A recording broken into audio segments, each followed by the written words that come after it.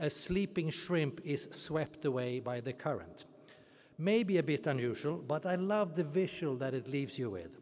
As the world changes faster than ever before, I think it is a great reminder that we need to stay awake, be alert to make sure we are not shrimps swept away by the current, and that instead we are the leaders who steer the way through it into the future.